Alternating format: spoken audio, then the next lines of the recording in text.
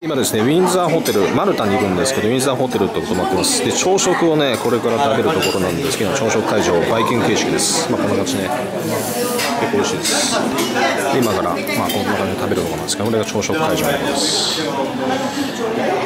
まあ、ここのホテルで利用する日本人の方結構多いと思うんですけど、まあ、こんな感じでね、今から食べる。ムとかね、ソーセージとか、あとベーコンなんかがあるんで、なかなかね、いい感じです。そうです